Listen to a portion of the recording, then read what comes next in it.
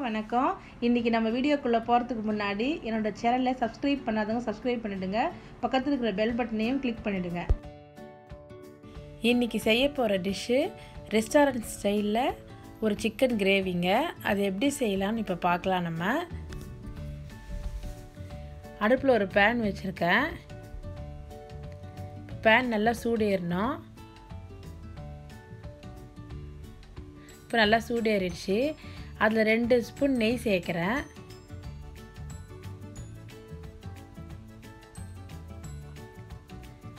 அதோட வந்து மூணுலேருந்து நாலு ஸ்பூன் ஆயில் சேர்க்குறேன்.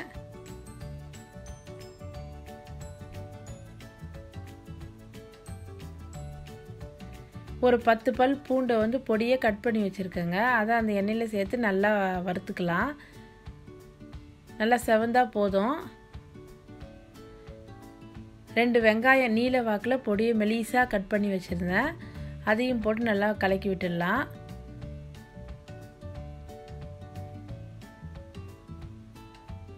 வெங்காயம்லாம் நல்லா வதங்கணுங்க.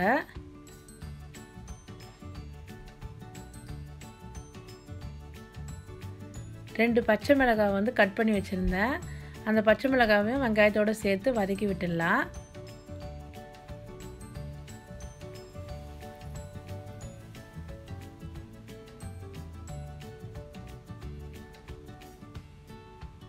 நல்லா வந்து ஒரு ரெண்டு நிமிஷம் நல்லா வதக்கிடுங்க.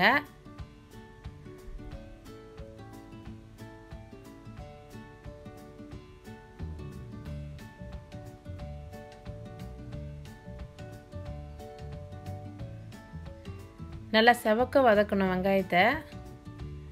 ஏன்னா இது வந்து நம்ம கிரேவி பண்ணுறதுனால வந்து நல்லா எல்லாமே வெங்காயம் தக்காளி எல்லாத்தையுமே வந்து நல்லா வதக்கணும்.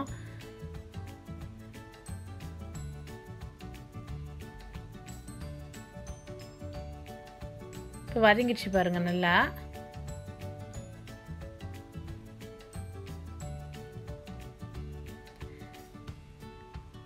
ஒரு ஒன்றரை ஸ்பூன் இஞ்சி பூண்டு விழுது சேர்க்குறேன்.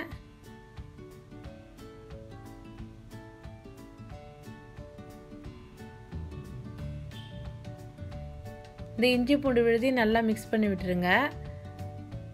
அந்த பச்சை ஸ்மெல் போகிற வரைக்கும் நல்லா வதக்கணும். நல்லா வந்து ஒரு ஒரு நிமிஷத்தில் வதக்கினா போதும்.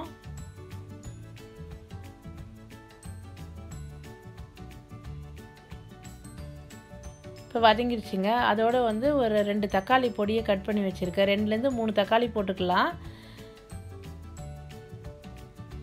தக்காளி நல்லா வதங்கணும். இப்போ இந்த தக்காளி ஒரு பக்கம் நம்ம இது வதங்கினே இருக்கட்டுங்க தீ வந்து கொஞ்சம் மீடியமாகவும் ஸ்லோவாக வச்சிடலாம். இப்போ வந்து நான் ரெண்டு ஸ்பூன் தனியாக எடுத்திருக்கேன். அதை வந்து இப்போ அதை வந்து தட்டி எடுத்துக்கலாம். இது வந்து ரொம்ப பவுடராக ஆக்கணுன்ற ஆக்க வேண்டியதில்லை.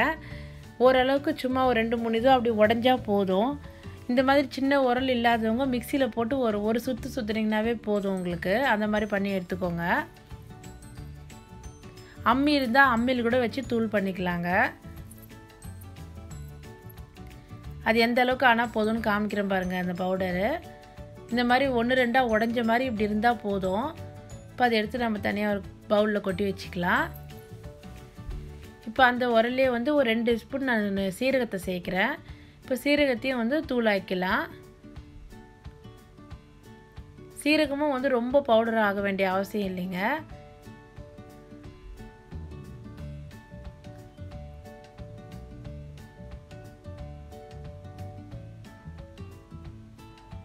பாருங்கள் இந்த அளவுக்கு பவுடர் ஆனால் போதும். இதையும் எடுத்து வச்சுக்கலாம். இப்போ தக்காளி வந்து நல்லா வதங்கிடுச்சு பாருங்கள் இப்போ அந்த வெங்காயம் தக்காளி பச்சை மிளகாய் இஞ்சி பூண்டு எல்லாம் சேர்ந்து ஒரு திக்காக ஒரு பேஸ்ட் மாதிரி ஆயிடுச்சு பாருங்கள் எல்லாம். இந்த மாதிரி ஆகும்போது தாங்க உங்கள் கிரேவி நல்லா வரும். இப்போ அந்த தட்டி வச்சு தனியாவை சேர்த்துடுறேன். சீரகத்தையும் சேர்த்துடுறேன் இப்போ இது எல்லாத்தையும் சேர்த்து நல்லா கலக்கி விட்டுடலாம். நல்லா வந்து ஒரு ஒரு நிமிஷம் நல்லா அந்த எண்ணெயில் இதையும் சேர்த்து வதக்கி விடுவோம்.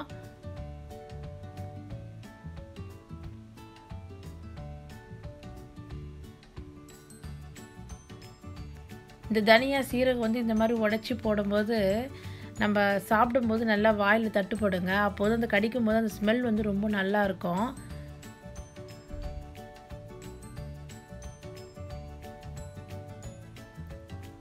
அரை கிலோ சிக்கன் எடுத்து வாஷ் பண்ணி வச்சுருக்கேன். இப்போ அதையும் இதில் சேர்த்து நல்லா மிக்ஸ் பண்ணி விட்டுடலாம்.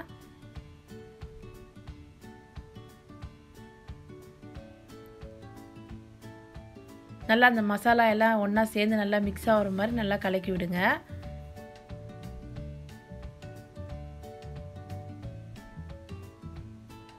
நல்லா ஒரு ஒரு நிமிஷம் நல்லா வதக்கி விட்டுருங்க.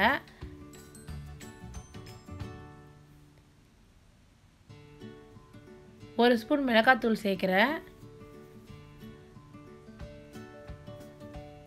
அரை ஸ்பூன் மஞ்சள் பொடி சேர்க்குறேன் நான் சேர்த்துருக்கிறது காஷ்மீரி தூள் மிளகாத்தூள் சேர்த்துருக்கேங்க. காஷ்மீர் மிளகாத்தூள் இல்லைனாக்கா வெறும் மிளகாத்தூளை நீங்கள் சேர்த்துக்கலாம். இந்த காஷ்மீரி மிளகாத்தூள் எதுக்கு சேர்க்குறோன்னு சொன்னாக்கா நல்லா கலர் கிடைக்குங்க. நல்லா ரெட்டிஷாக இருக்கும் அது தூள் அது. அதனால தான் வந்து அதை சேர்க்குறது. அது இல்லைன்னா நம்ம வெறும் மிளகாத்தூள் சேர்த்துக்கலாம். இதுக்கு அதுக்கு என்ன டிஃப்ரெண்ட்னா கலர் கிடைக்கும். ஆனால் காஷ்மீரி தூள் வந்து கொஞ்சம் காரம் கம்மியாக இருக்கும். நம்ம அரைக்கிற மிளகாத்தூள் வந்து காரம் அதிகமாக இருக்கும். அப்போ வந்து இந்த தூள் சேர்க்கும்போது வீட்டு தூள் சேர்க்கும்போது கொஞ்சம் கம்மியாக சேர்த்துக்கோங்க. காஷ்மீரி தூள் சேர்க்கும்போது கொஞ்சம் கூட சேர்த்துக்கோங்க. ஒரு கப் தயிர் சேர்க்குறேன்.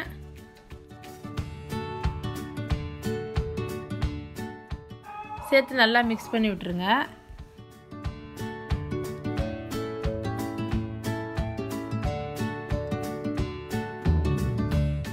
தயிர் சேர்க்கும்போது நல்லா வந்து சிக்கன் வந்து சாஃப்டாக ஆகும்.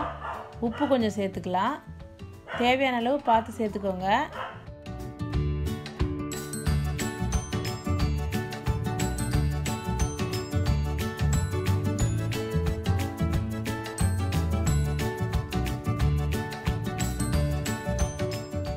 இப்போ நல்லா மிக்ஸ் பண்ணி விட்டுருங்க. நல்லா ஒரு ஒரு நிமிஷம் நல்லா அந்த தயிரோடு சேர்ந்து வரட்டும். நல்லா வேகட்டும். மசாலா எல்லாம் சிக்கனில் நல்லா இறங்கும் பாருங்கள்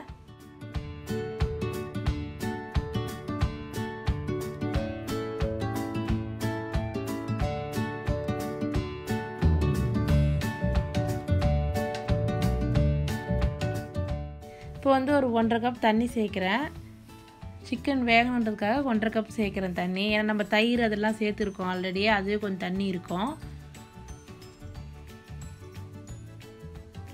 இப்போ நல்லா மிக்ஸ் பண்ணி விட்டுடலாம்.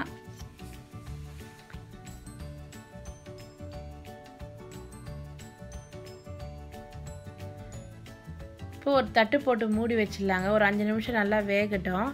சிக்கன் வந்து நல்லா வேகணும் இல்லைங்களா? அதுக்காக மூடி வச்சுருவோம். அஞ்சு நிமிஷம் இருந்தாலே போதும். இப்போ நல்லா வெந்துருச்சு பாருங்கள் சிக்கனை தண்ணியெல்லாம் நல்லா சுண்டி வந்திருக்கு.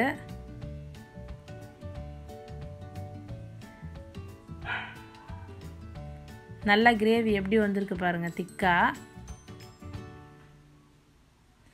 அப்படியே பார்க்கும்போதே பாருங்கள் கலர்ஃபுல்லாக இருக்குது சிக்கன் பார் நல்லா வெந்திருக்கு சாஃப்டாகவும் இருக்குது அதே சமயத்தில்.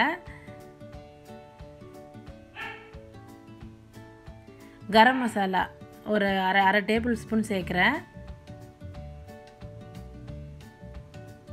கசூரி மேத்தி கொஞ்சம் சேர்க்குறேங்க. இந்த கசூரி மெத்திலாம் சேர்க்கும் போது அந்த ஸ்மெல் ரொம்ப நல்லா இருக்கும் நமக்கு.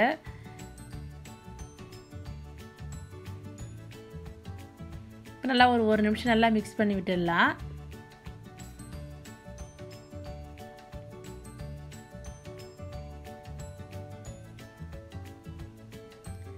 நான் ஒரு டேபிள் ஸ்பூன் க்ரீம் சேர்க்குறேங்க ஃப்ரெஷ் க்ரீம் சேர்க்குறேன். இந்த ஃப்ரெஷ் க்ரீம் வந்து ஆப்ஷனல் தான். இது இருந்தால் சேர்த்துக்கலாம் இல்லைன்னா சேர்க்காம அப்படியேவும் செய்யலாம். ஆனால் வந்து இந்த ரெஸ்டாரண்ட்லலாம் சாப்பிடும்போது வந்து அவங்க அந்த டேஸ்ட்டுக்கு வந்து அவங்க க்ரீமெல்லாம் கண்டிப்பாக அந்த கசூரி மேத்தி இந்த க்ரீமெல்லாம் வந்து கண்டிப்பாக சேர்ப்பாங்க. சேர்க்கும் போது தான் அது ஒரு நல்ல ஒரு நல்ல ஸ்மெல்லு நல்ல டேஸ்ட் வந்து நல்ல சூப்பராக இருக்குங்க. அதனால தான் நான் சேர்த்துருக்கேன். உங்கள்கிட்ட க்ரீம் இல்லைனாக்கா நீங்கள் சேர்க்காம இதே மாதிரி நீங்கள் செய்யுங்க. அதுவும் நல்லாயிருக்கும் இப்போது ரெண்டு மூணு நிமிஷம் அப்படியே போ மூடி வச்சிடலாம்.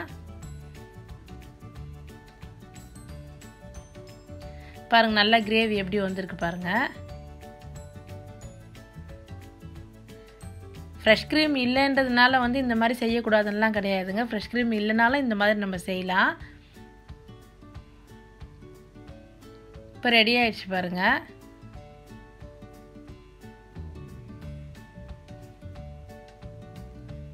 ஆனால் ஃப்ரெஷ் க்ரீம் எல்லாம் வந்து கடைங்களில் இப்போ எல்லா இடத்துலையுமே கிடைக்குதுங்க அது. அது ரொம்ப கிடைக்காத பொருள் இல்லை. பாருங்கள் சிக்கன் ரெடி ஆயிடுச்சு. இப்போ அதை எடுத்து ஒரு பவுலில் போட்டு மேலே கொஞ்சம் கொத்தமல்லி போட்டுடலாம்.